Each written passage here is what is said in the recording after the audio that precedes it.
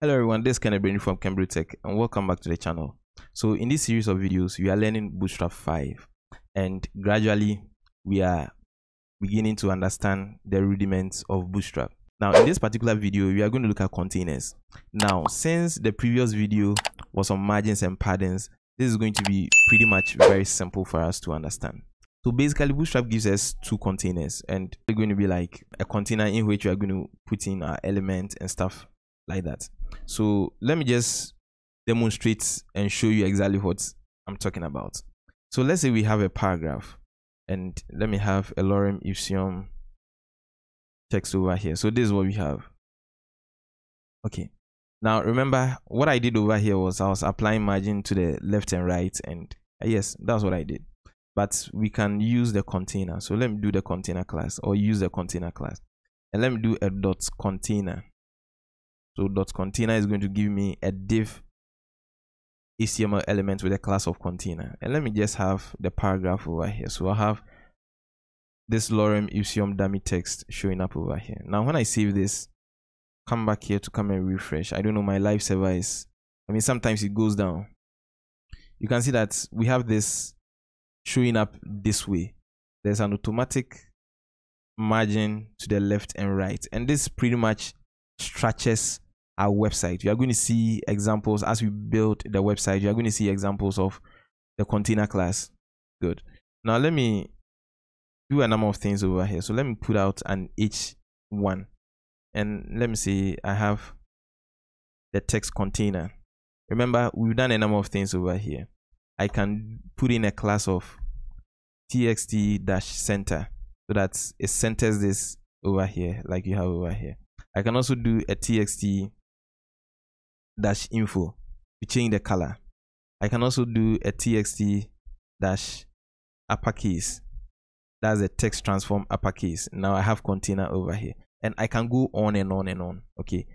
As far as it makes sense, we are good to go. Good. Now, this is with a container class. Now let's look at another one we have, and that's a container fluid.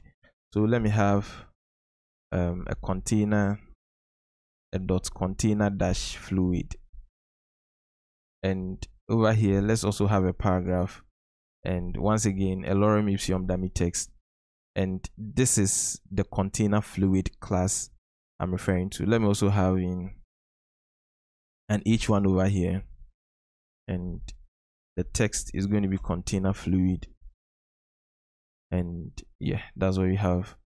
Let me add in a couple of bootstraps. So I'll do text dash danger to change the color to red. I can do text dash center. And over here I can also do a text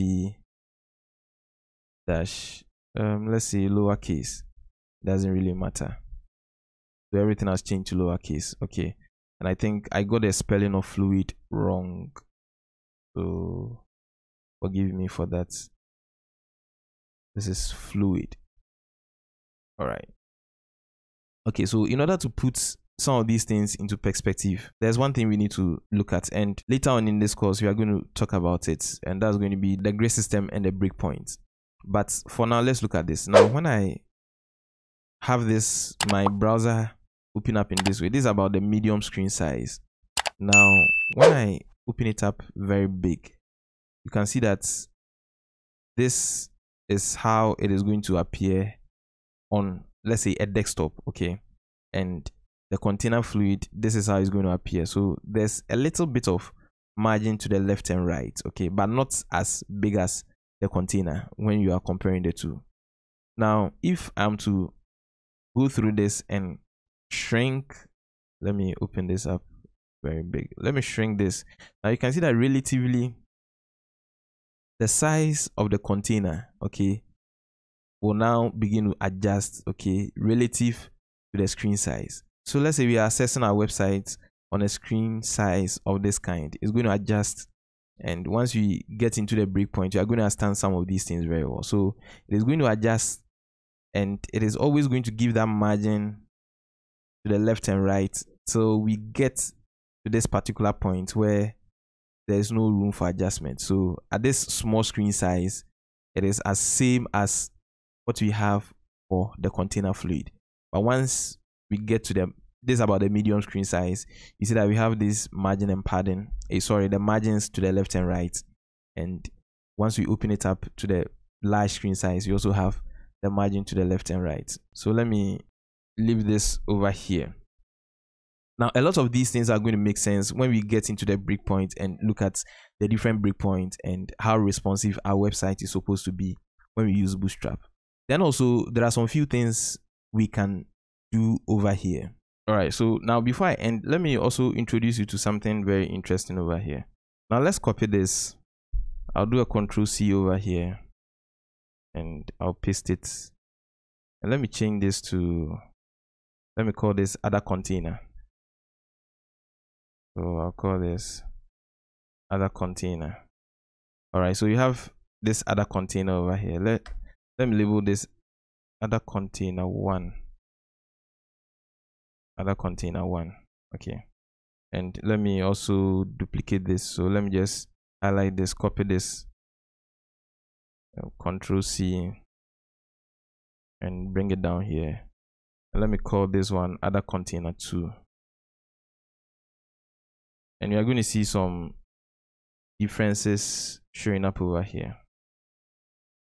So let me change the text. I think danger let me do primary over here. All right so here we are. Okay so we have other container one and other container two. Now remember by default we have the container in the container fluid and that's what i've demonstrated with this container and container fluid. Now we can look at container. Let's do container md and we can do a container lg over here. So these are variations of the breakpoints okay as far as using the container class is concerned. And we are going to look at the cs um the bootstrap grid system and breakpoint and that's going to throw more light into exactly what we need to understand over here but this is just a precursor to everything we are going to learn later.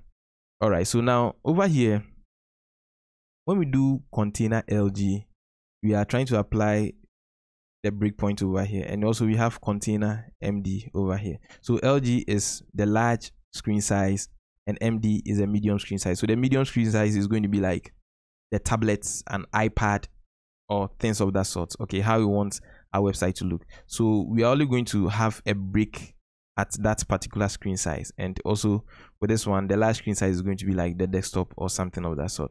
So now let's see. Now when i open this up you can see that clearly with the, this with the medium we begin to have some margin over here. Okay just as we have over here. But with this other container which is the lg it is it is still behaving like the container fluid until we go further up and you can see that with a large screen size, this is also beginning to have that margin to the left and right. The container fluid is still where it is. It doesn't change no matter the screen size. Now, when we open this up a little bit, now all these three are going to behave the same, okay? Because they are all containers in one way or the other, but they are going to behave differently at certain breakpoints.